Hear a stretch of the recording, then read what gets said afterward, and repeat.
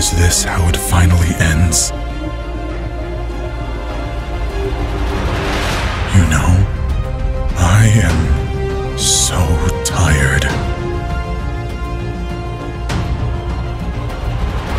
For 2,000 years, I have walked the world, watched it change and protected it from those monsters that threatened it. Monsters like me.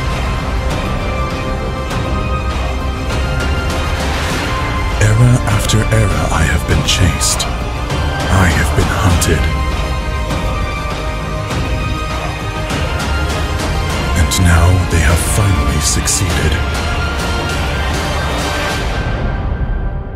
You.